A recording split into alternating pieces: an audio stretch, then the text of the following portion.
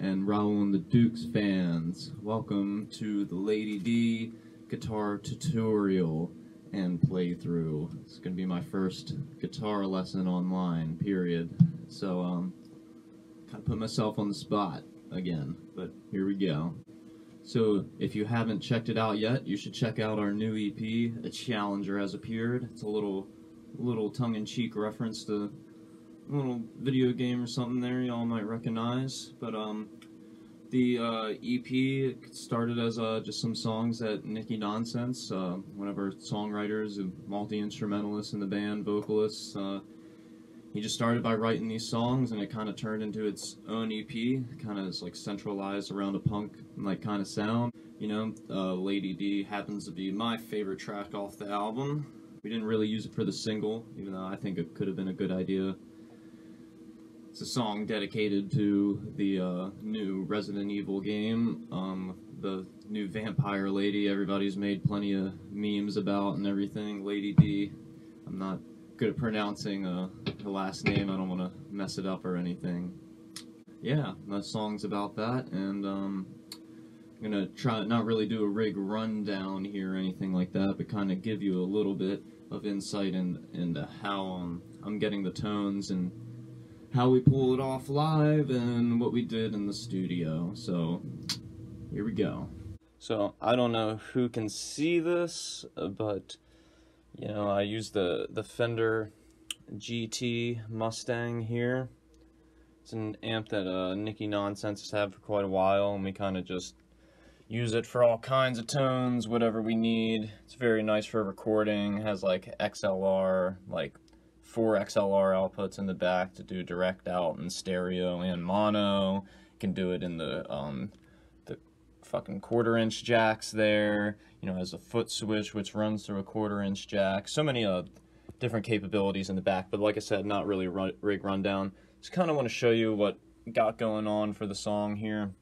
And I know you can't really see the screen, but basically what I do is I set up a bunch of patches on my pedal here in a bank. And then, um, like, if you're familiar with the GT, you know that it has all these different settings here, it starts off at like just um, filtering through patches and stuff like that, and you just hit buttons to go up and down and the banks and whatnot, and then what I do is, um, you know, you get like a tuner and stuff on there, but anyway, I uh, make a bunch of patches on here for Raoul and the Dukes, and then I kind of just uh, use three of them. I get like a clean tone, which is kind of like that reverby, like slapback kind of delay thing. Um, very surf tone, and then I got like basically the same thing, but in a crunch like kind of form for more grit. Um, so yeah, got that, and then uh, just to add some wild effects, because I really don't use a whole lot of effects or anything, I kind of just build it all into one tone. With this pedal, I have some like, you know, everyone calls it the the whip it setting or whatever, but you know, just kind of some tremolo with some crazy ass phaser on it and shit. Just, I just kind of use it to like break up some of the chaos and monotony in some of our noisier sections and just kind of gives you that swirling, sprawling kind of sound. But anyway, the, yeah, you know, just really gated out fuzz and tremolo shit. Anyway, moving on. So basically the tone here, since you can't see it, I'll look at it and describe it. For the gain one, because that's what I use live, and um, I'm going to show you how to play it both ways. The gain setting here is using a 70s British stack. I got a boost on it. I got a compressor, a little bit of delay to get that, that slap back effect in there. You basically like turn the delay all the like the brightness all the way up. Um you set the you can tap the tempo on here so i just tap the tempo to a, a roundabout speed to get me that for the song. And then um yeah that's basically it. Just has the the stack the boost the compressor and the delay on that one and all the reverb you're hearing is coming right off of the amp on that so on the clean tone here we're using a 65 Deluxe for the amp, Fender Reverb Super Deluxe there. Um, some ambient reverb, which uh, you know, you just go you go through the the reverbs you like on here and find out which works the best. I kind of just process of elimination found that this one worked the best with this setting. Um, let's see, the mono delay is basically at the same kind of parameters as the last one. I think a little bit faster, something like that. The brightness not all the way up, just to let it sit in the mix a little better. That's about it pretty much all that's going on there. And I don't use the the crazy setting for this song. Just the uh, you just need to know about the clean and uh, the gain. So um, with that being said, also for you nerds out there who like to know all the controls, this isn't what actually well it's kind of close to what I use, but you know I usually set treble around three or four, middle around three or four, and then the bass around six or seven I mean, this isn't really right because it's just the uh, GT kind of just saves your settings and put them in there, and then this doesn't get saved till after you mess with it. But um, yeah, the reverb, you know, adjust it as you need it. I usually for stuff like this put it around like in the seven position, and the gain like the same thing. I put I'll put like both of them in the seven position to use the gain and reverb. Anyway, so that's it. I have it turned up a little bit. I'm gonna be mixing it with our stereo and the board for my vocals to talk to you and uh, yeah just running it through this. So that's what we're, we're dealing with today. So uh, so um, I guess to get in a little bit of the guitar I use uh, Epiphone Les Paul here. It's uh pretty sure it's part of the same series as uh, this SG I used to have but it's the 100 um series. It's like called the Studio 100 or something. I don't know. I'm no guitar freaking like expert on like models and makes and that sort of thing. So somebody else out there could tell me what we got one day. Uh, I don't really know. It works, you know. Like gets the job done. Double humbuckers sounds pretty thick. Um, just kind of had this guitar around for a while, um, courtesy of uh, Zeb Collison. You know, he's had a, he's had quite a bit of Epiphone guitars and stuff. So um, yeah, always tune up your guitar, E, A, D, G, B, E, standard tuning. Um, I use a snark, you guys use whatever the hell you want, foot switch, doesn't really matter to me. You know, you're the artist here, you do what you want, I'm just teaching you. So, if you wanted to know how to play this song, it's pretty simple. Figured I'd start with a simple song of ours. If you guys want another one, you know, it doesn't even have to be one of our songs. You just ask me to learn something. If you like the way I teach or whatever, you know, you just let me know. I'll pop something down there, you know. Just let me know what's going on in the comments, and I'll uh, try to respond to you with your requests. So this song, Lady D, it's in the key of G major. Doesn't really venture uh, anywhere else, honestly. So you know, you know your G chord, G major chord however position you want to play it. Um, I choose to use the bar chord for the main riff in this.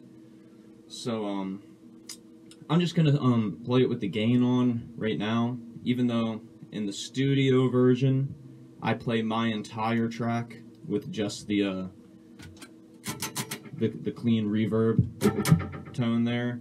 But um, for the sake of doing this, because live I, I play with straight gain on the whole time, and I'll explain a little bit into that as we get into these riffs. But anyway, so the main riff is in G. You're just starting with the G bar chord, which, you know, you got your the frets and the notes across G on the low E string, third fret. You got your D, the fifth fret on the A string, and then another G, the fifth fret on the um, D string. You got your B, the third of the chord, on the G string at the fourth fret, and then on the third fret of the B string, um, you got your D, another D, and then uh, you got your highest octave on the high E string with the third fret with another G.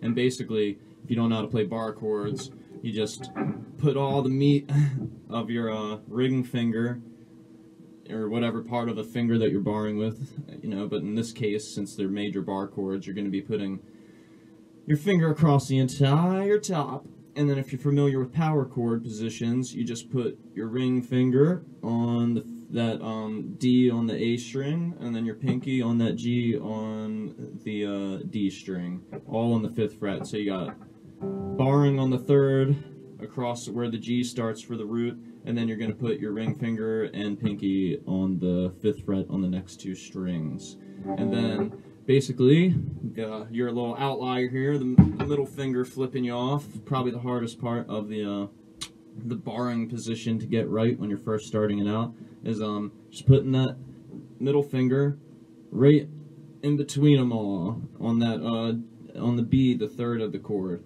And that's how you make your uh, you know that's what makes the difference between a major and minor is you know sharping or flatting the uh, third on a, on a chord. So uh, for a major you know you gotta throw you gotta throw that that middle finger in there without it you know you got a minor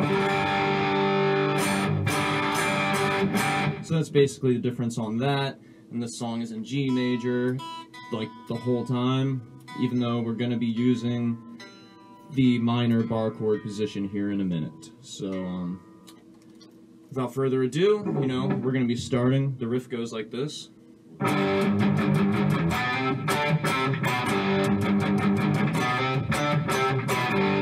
And it's um, basically just moving up different degrees of the G major uh, scale there. So you're starting with the G major bar chord. You know, one, two, and three, and four, and and that that's when the uh that the like upbeat part of the riff starts, which is always kind of hard for drummers to um or anyone doing rhythm like a steady rhythm to think about because the drums is like just you know steady fucking da da da da da da da and then the fucking that riff comes in with that and that's just you know very staccato on it and it kind of breaks up the groove a little bit, but it, I think it works in a, a really bouncy sort of way.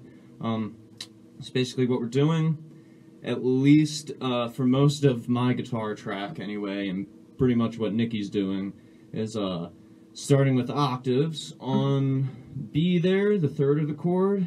So we got this, um, you're just using, if you're not familiar with the octave position, you know, you just put your uh, pointer finger on the root note of the chord, and then um, basically find the octave, uh, you know, two strings up, and you know you're just basically playing it like that. So you're basically playing a power chord position without the fifth of the chord in there, and you're just getting the octave ring out of it. For something like this, kind of adds more.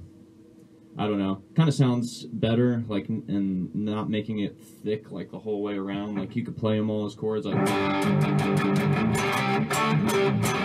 you know, and it doesn't sound bad, but you know, to keep the the melodicness of it, the octaves do kind of really bring it to life. So anyway, we're starting with a B. So you got second fret pointer finger on the A string, and then another B, uh, fourth fret um, B on the G string. So, and then the same thing. You're moving it one um, fret up, one half step up to C there, and you're going to be using pointer finger on the third of the A string for C, and then pinky on the fifth fret of the G string for C. So, so B, C, and then you're going to be moving a whole step up, so two steps up here to, to D. So fifth pointer finger on fifth fret of the A string, and then pinky on the seventh fret of the G. So. So B, C, D, and then on the walk down, you're just going back to the same notes, except for just with a different rhythm on uh, a C and B. So whole riff together, play it slow once.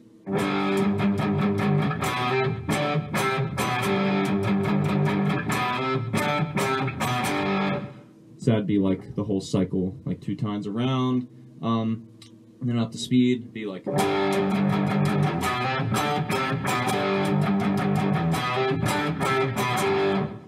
know, you can play it a little faster if you want.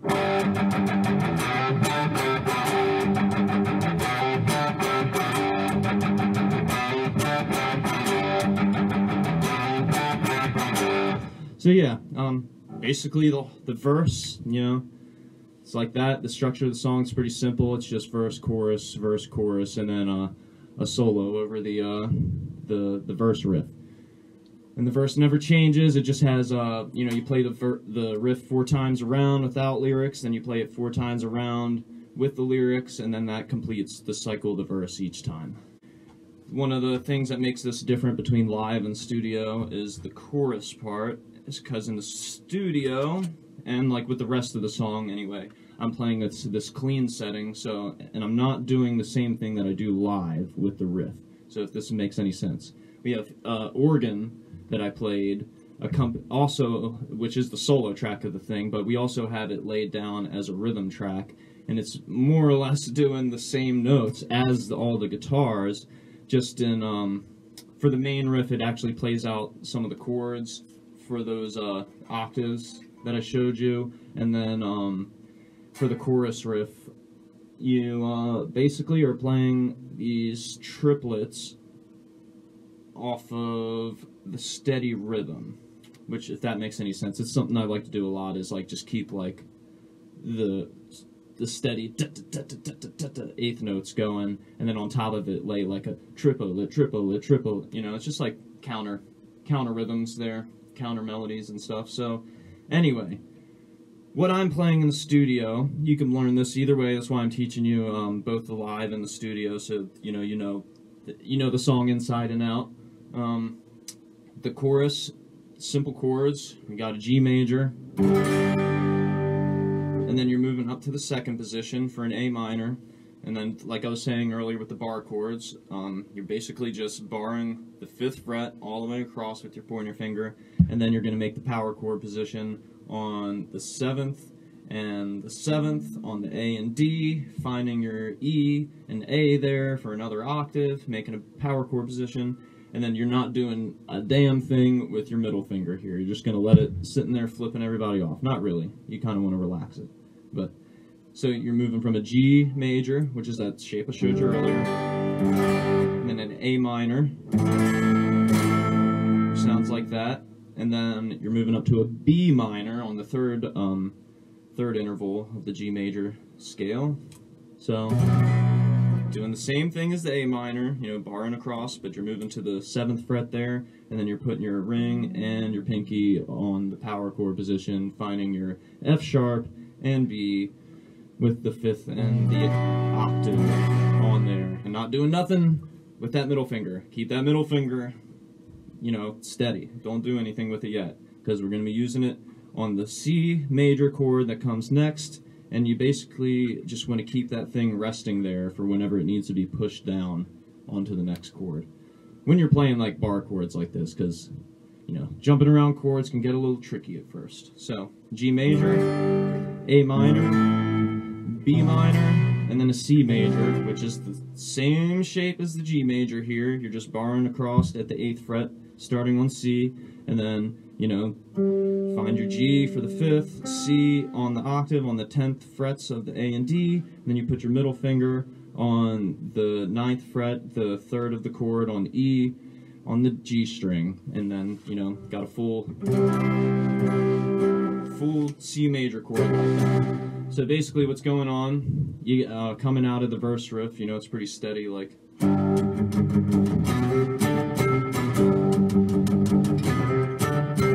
it goes immediately into the next part, which um, what I'm playing in the studio version is just straight eighth notes. You know, it's just one and two and three and four and one and two and three and four and so just G, A minor, B, C, and it repeats that whole thing four times around. And the only thing that's kind of nuanced onto it is at the end of the fourth progression, we double up on that C. So the whole riff will sound like this.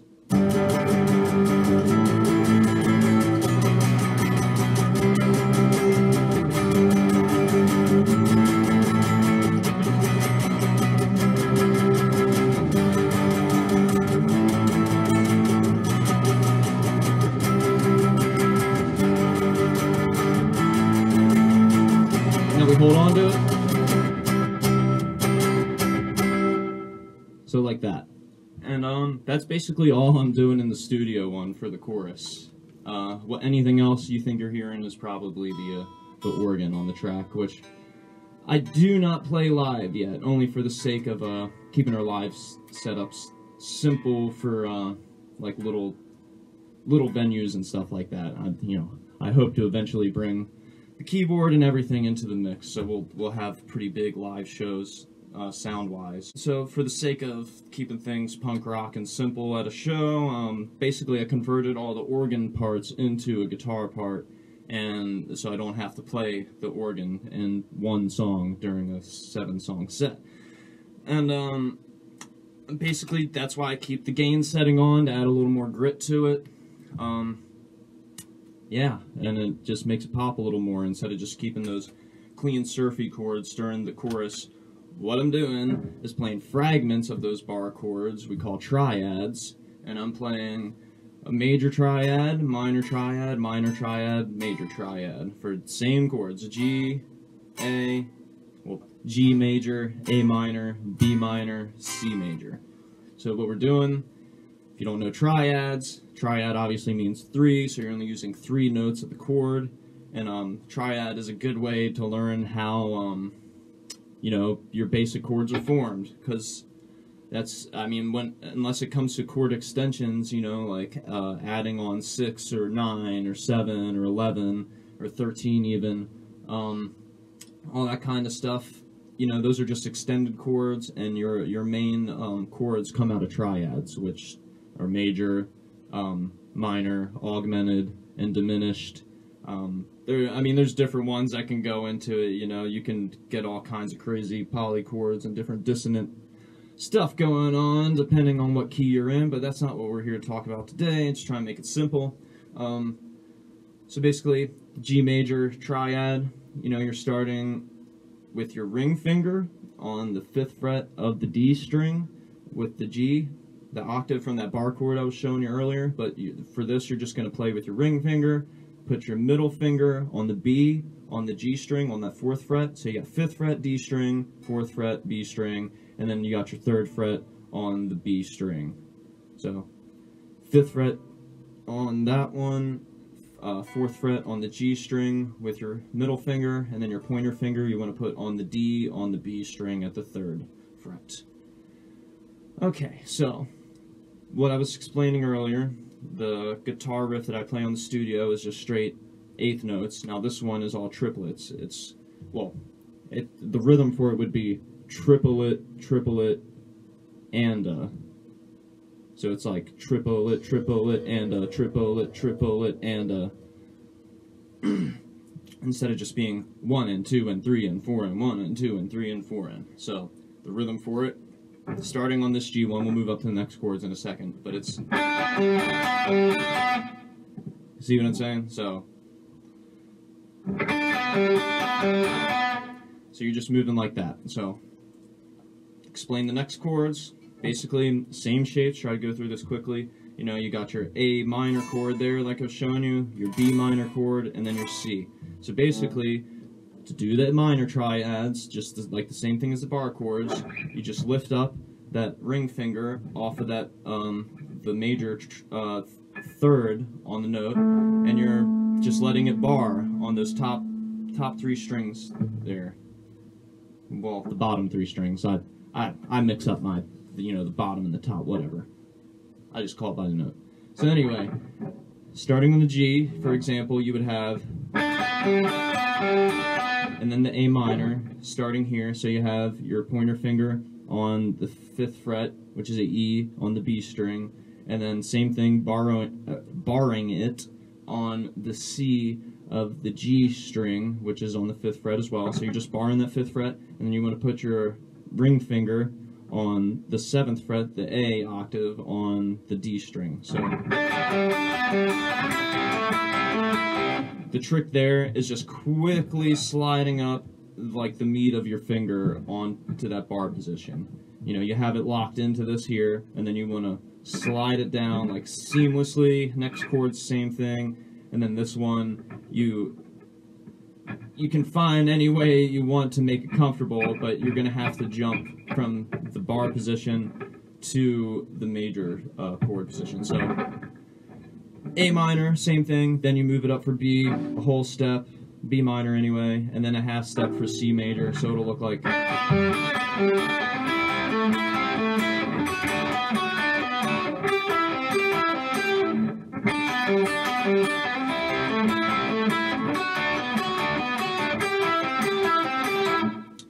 And, and I only change it up for the last um, for the last riff, like the same way that we held onto it for the uh, clean guitar tone.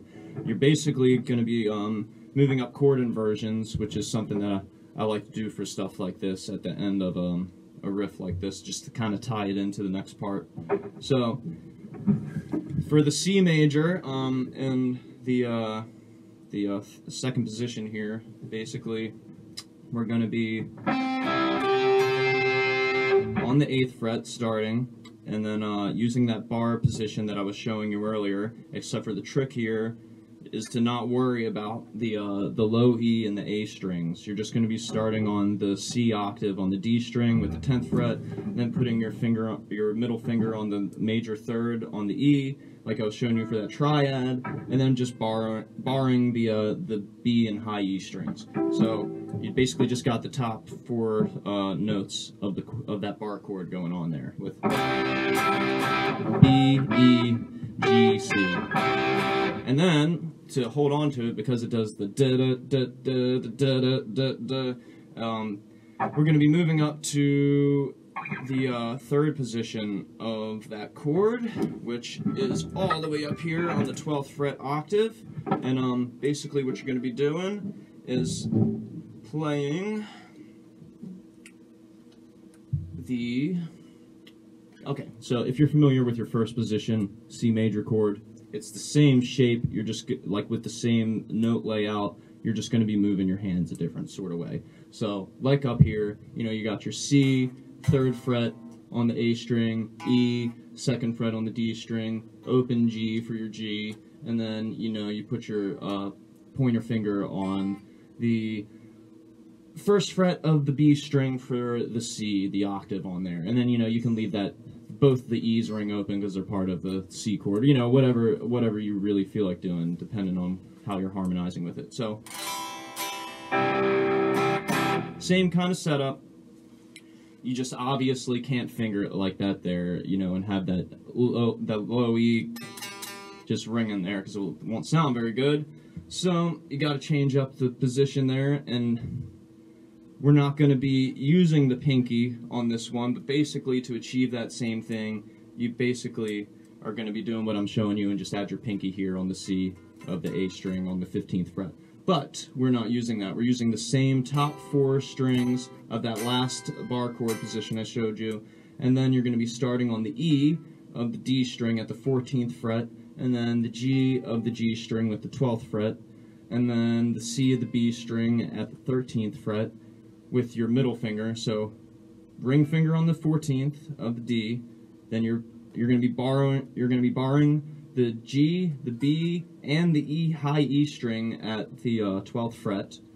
So you're going to be starting that on the G string. So 14, 12 with the, your uh, pointer finger barring, and then on, when you get to that B string, you just got to put your middle finger on the 13th fret for the C. So that's your uh, third position octave inversion there. So or is it fourth? Because I think I think first is starting up here at the top of the neck. Then second would be like doing your bar chord, and then third is um like up here in the different inversions of the neck, and then fourth is like at the octave.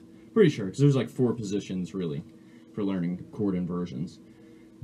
Oh, so that whole riff right there, starting with them triplets on the major and minor triads. So G, A minor, B minor, and C.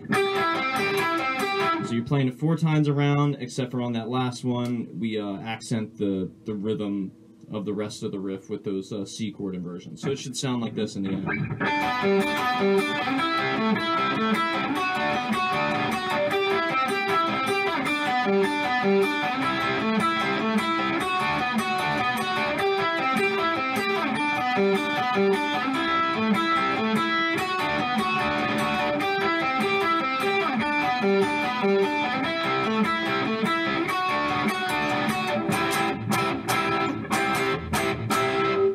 Just doing that da da da da da da da da on the end there.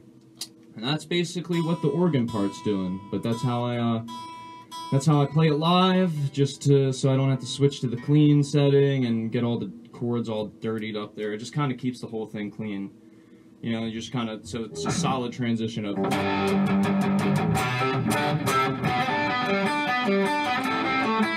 You know, just no effects switching, nothing like that. Just keeping the same gain going whole time, keeping it rock and roll.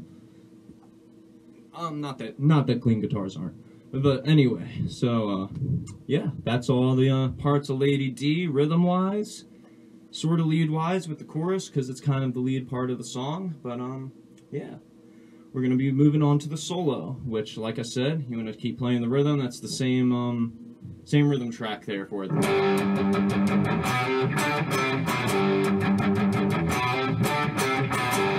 You know what I mean? You're gonna be keeping that same G riff going the whole time. And the solo is basically a, a counter rhythm and melody of the whole thing. Ba- kind of uh, a little play, a little pun reference to um, Toccata and Fugue and, uh, in D minor by Johann Sebastian Bach. Sorry, just keeping my guitar in tune here. I played solo on the organ, played on the keyboard there, which maybe one day you guys request it. I'll show you some keyboard tutorials, piano tutorials, whatever. Whatever you want to know, figure out the ins and outs of our songs and whatnot. I'd be more than happy to show you. Don't really feel like breaking it out right now, just for the sake of it being a guitar tutorial. You know, let me know in the comments if you'd like to learn this on the keyboard. I could give you a quick uh, little solo tutorial. But if you know music theory like me and your notes and stuff, figuring out from the guitar and then on transposing it onto the uh, keyboard shouldn't be too hard. Counter point um, rhythm going on here. You know, over top that da da da da da da da da da da. And it's going to be playing like that toccata and fugue kind of um, back and forth thing that Bach did a lot. The you know what I mean? Just uh, relying on that pedal note right there, and you know, you know, just kind of like going back like that. And uh, it doesn't necessarily do that the whole time, but that supplied the melody. Just give it that like vampire feel to it. I thought that was the only thing I was missing was like gotta have that like vampire organ like sound in it. So um, anyway, starting on the high E string, fifth fret, basically be using the uh, G major scale here. So all the notes of the G major scale and try to try not to run through them too much individually here, but you know, you got G, A, B, C, D, um, E, uh, F sharp, and then landing back on the octave with G. Alrighty, so um, basically what I'm doing is I'm for each lick of this solo, I start on a G chord and then I move to a C chord, and it kind of like plays along with the melody of the rhythm like that. Um, to, a certain extent, you know what I mean, because the the riff's really riding on that G, but I'm creating uh, like an illusion that the C chord is there with this solo, and uh, basically starting on the fifth fret, high E string, at the very highest like point of the G major scale here, starting on G. So, you know, basically, we're not staying on the G the whole time like the Bach thing. It just kind of starts with that rhythm. I mean, that's pretty much why I wanted to explain that. So when you're like trying to figure out how to lock this in, you know, you're just kind of thinking of it in those terms. So we got. So basically, we're going to be going from G to F sharp, back to G, but then we're sliding down an interval in the scale and going up to E and then the F sharp. So starting on G, you know, back and forth to so C or G, F sharp, G, and then E, F sharp to complete the lick. And then we're going back to C, which will start the next lick. It kind of leads into it like that, like a flowing pattern. And then doing the same thing, same like position, except for we're going to be ending on the G string here, which if you know how to play guitar, you know where the, the frets align with that. So 15, 14, 15, 12, 14 on the high E string, and then when you get to the B string, moving up to the C chord, you're going to be using the 13 on the B string with C, and then the 12th on the B string with B, and then back to the C, and then you know A, and then B with the same same pattern as the last string. And then the only difference here is you're going to be moving up to the G uh, at the octave on the 12th fret here on the, you know, I guess I guess I should say the uh, the, the fingering position here because I do it all with my pinky. So basically, all um, most of the time I play anyway, all four fingers are aligned to their own fret. So I'm using the pinky, ring finger, and pointer finger here to to pull off all of this. And then my middle finger when I get to the next string, and then you just slide up your position, and then um, I use the ring finger on the next string. So.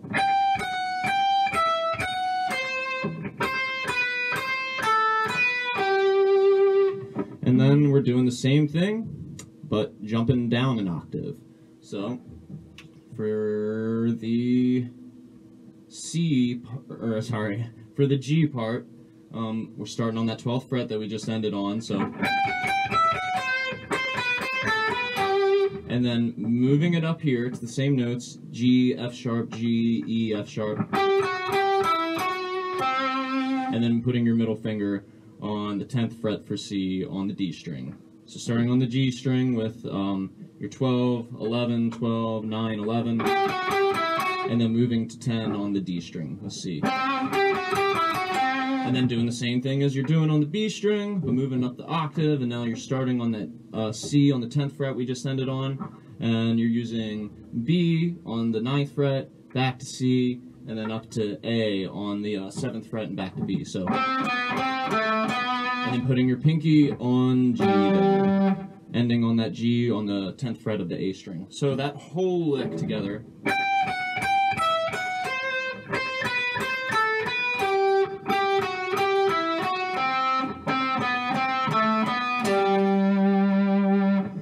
Up a little closer in case you can't see it all the way from back there.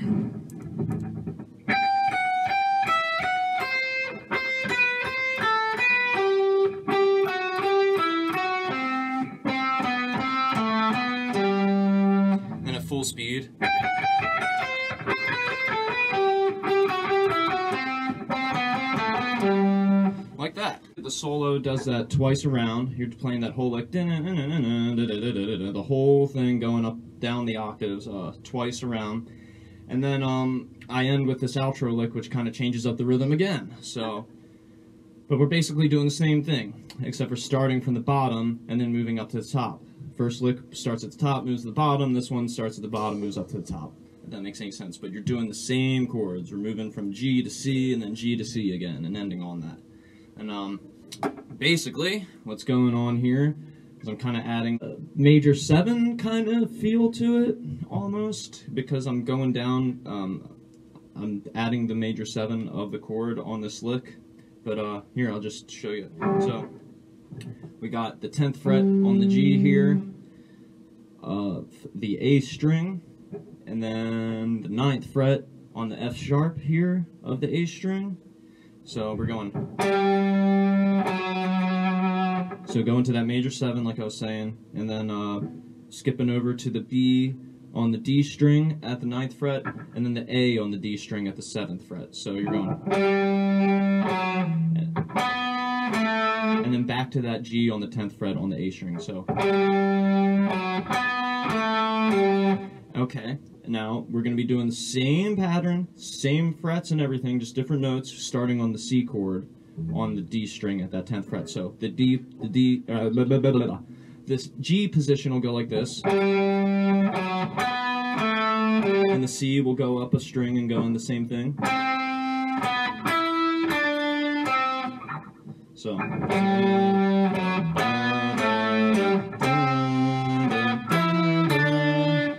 Okay, and ending ending on that, you know, the C again, like same thing as that last lick.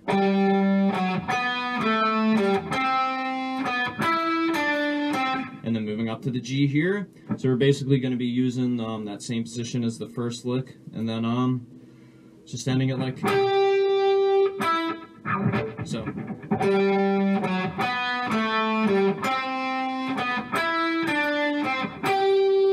So 12th fret G string on the G, and then the F sharps on the 11th. Then you're moving up to the 12th fret on the B string with the B, and then the 10th fret on the B string with the A. It's, you know, same rhythm as that last lick, just in a different position because you're jumping up to that B string. So.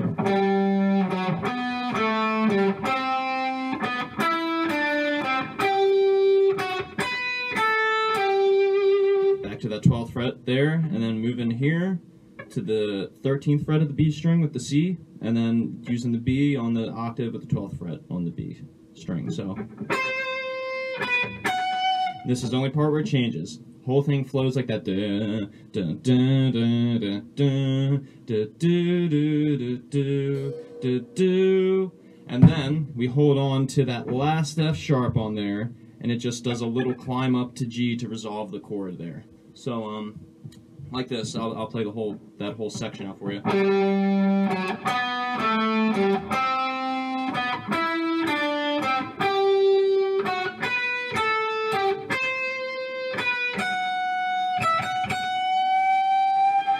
And then I just bend up to that uh G, that G on the high E string there. Um, obviously this is what here in the recording, but you know it'd probably be fun to play along with the guitar to the organ track anyway, and you'll be hearing it live like this most likely from me. So um, I'll play it the whole solo up close for you real quick, so you can kind of get a better look at what's going on here.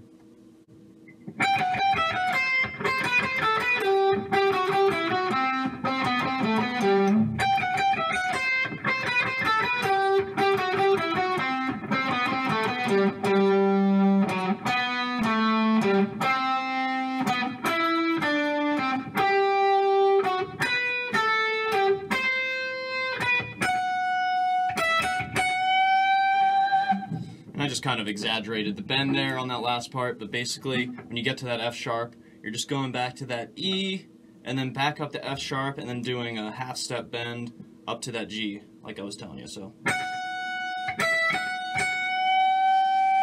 you want to make sure it's singing just like that G would. So.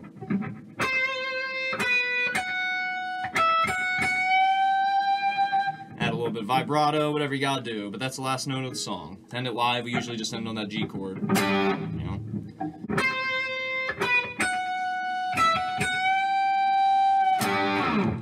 So that was uh, pretty fun showing you guys how to play the song on guitar here. Um, bass pretty much like following the uh, same rhythms as the uh, the guitars and drums there, you know, just driving it along. I think the bass is a little more steady though. There's less uh, rests in the riff and stuff.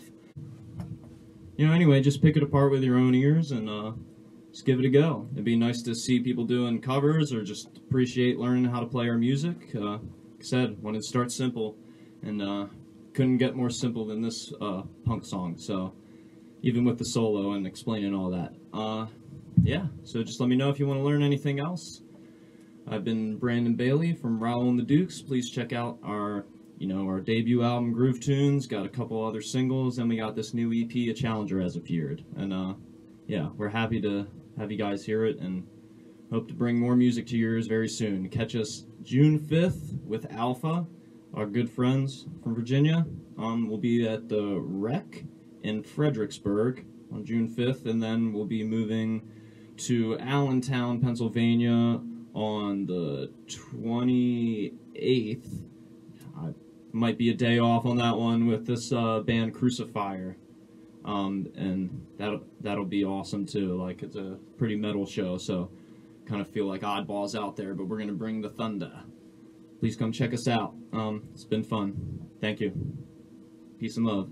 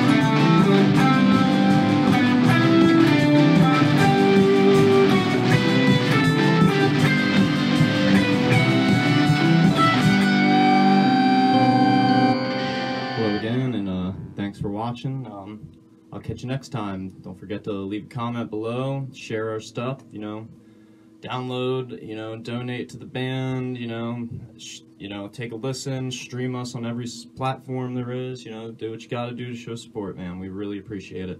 Uh, thanks uh, again to Amy from the NAD for uh, lending me this microphone to modify for her. Um, definitely works really good for talking and broadcasting of any sort.